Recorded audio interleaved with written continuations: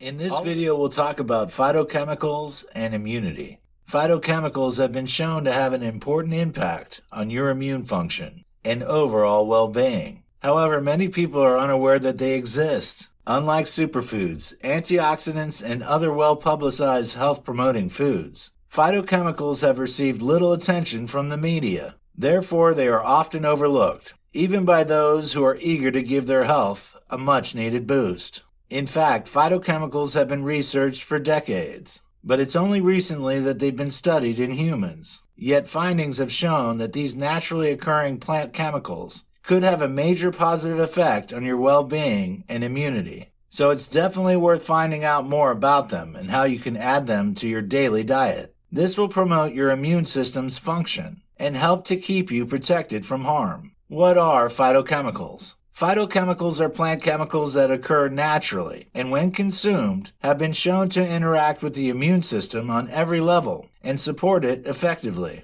Phytochemicals have been shown to inhibit cancer at each stage of its development, stopping new cancer cells from forming, inhibiting their growth, and removing the toxins that can cause cancer. They can even influence the gene activity that is involved in the development of cancer and suppress the hormones that have been shown to stimulate the growth of certain types of cancer. With this in mind, it's important to be aware of the most beneficial phytochemicals that you could be adding to your daily intake. The most beneficial phytochemicals. There are several types of phytochemicals that have been shown to be highly beneficial for your immunity. These bioactive chemicals have been proven to slow down and halt cancer progression by inhibiting cell division, altering gene expression, reducing inflammation and free radical damage, and inhibiting the blood supply to tumors. Quercetin is one frequently studied flavonoid. It can be found in green tea. It blocks the production of hormone receptors, growth factors, and the other components known to promote cancer growth. Some other foods that contain phytochemicals that can be beneficial for your immune system include avocados,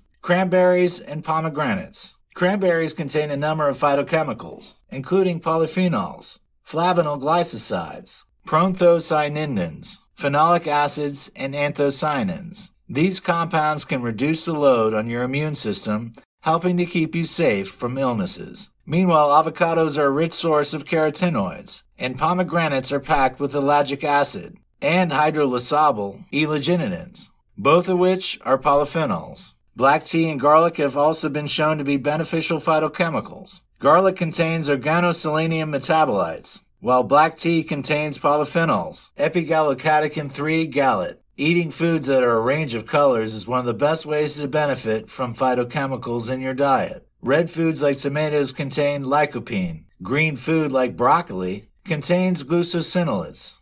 And onion and garlic contain allyl sulfides. All of these compounds are known to boost immunity exponentially. So you should try every day to make sure that you include foods of several colors in your meals to give yourself the best chance of achieving optimal immunity.